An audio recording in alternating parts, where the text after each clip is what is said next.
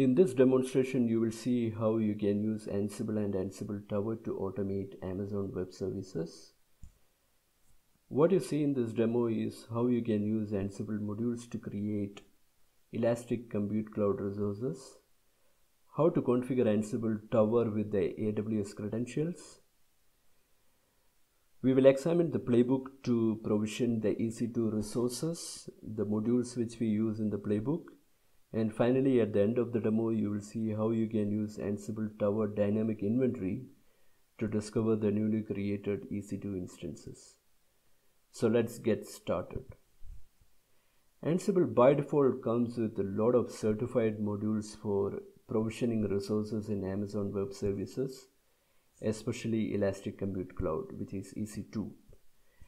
And in this demonstration, we will be using uh, six modules from EC2 to create virtual private cloud, subnet, internet gateway, security groups, and finally the instance. Before we start, we need to make sure that you have the AWS credentials being added in your Ansible Tower. So let's log into Ansible Tower and see how you can create the credentials.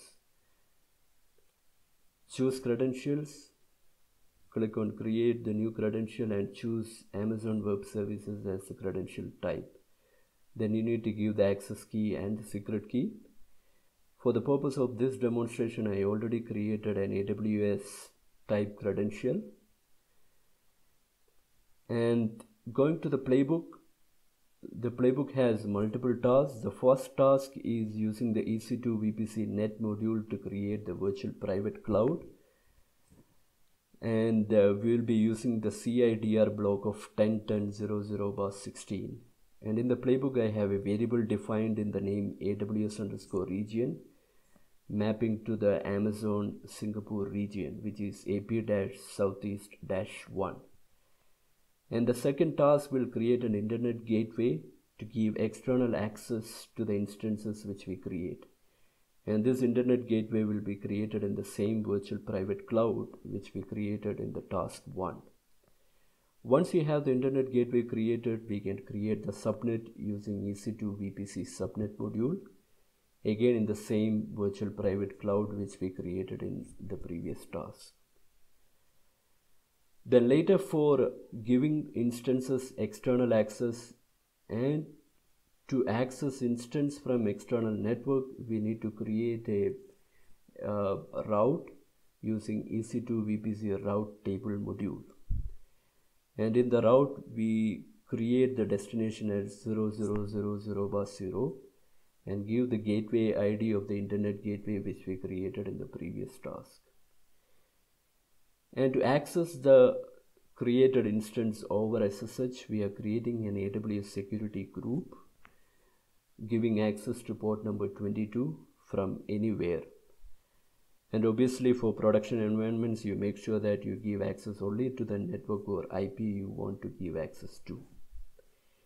And finally we have an EC2 module being used in the playbook which will basically create a RHEL 8 instance combining all the resources which we created in the previous tasks. So in this demo, I use a pre-created AWS key in the name Ansible Tower AWS key, uses an instance type of t2.medium, and we use a Red Hat certified RHEL 8 Amazon machine image using the same security group which we created earlier, the same virtual private cloud subnet, and we will assign a public IP to uh, access this instance from outside. So let's see the playbook which we have. So it starts with the variable definition, the EC2 VPC net module to create the VPC, the internet gateway for EC2 VPC IGW module.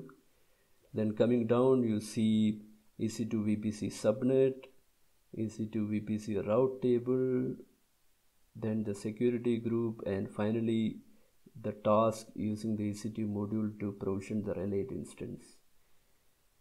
And the playbook actually ends with a debug module showing the EC2 instance public IP. Before I actually provision this playbook within my tower, let's see the current state of our Amazon cloud. I don't have any instance in my Singapore region. I only have the default virtual private cloud which is being uh, created as part of the default Amazon account. So let me go and create the instance by running the job template which is aws create underscore resource which basically uses the playbook which I showed earlier. So let me go and execute this job template. The job template is running. While it is executing let's go and refresh the VPC to see whether the VPC is created. You see the ansible underscore tower underscore VPC being created with the new subnet 10 10 10 0 0 by 20 you see the route table being created. There is an internet gateway being created just now. Going to security groups you should actually see a new security group aws security group for ansible tower demo. And coming to the instances let's refresh to see whether the instance is getting created. Yes the instance is getting created. And finally at the end of the job you should actually be seeing your public IP for the instance. So it is just waiting for the job template to be over. So I just see the public IP shown as 130.250.100.1112 so it is 13.250.100.1112 let me just try to log in to that instance using the Amazon key which I created earlier. Enter. I think the instance is getting started so let's wait for some more time. Momentarily the instance should be up and running. So if you come here and check you know the status is up and running. And Ansible tower is actually successful. So going further let's actually see how we can use the AWS dynamic inventory script to discover the newly created host. So if I go back to my inventory I already have a AWS inventory but it doesn't have any host as of now. So what I do here is I will actually do a sync process which will basically connect to the AWS API and find out the newly created host. So this is over. Sync is completed. If I go to host you would see the same host 13 to 50.100.112 so by now the instance should be up and running. You see it as up and running. I was able to SSH now when I check the Red Hat release you see it is Red Hat Enterprise Linux 8.1 so I hope you enjoyed this demonstration. Thank you for watching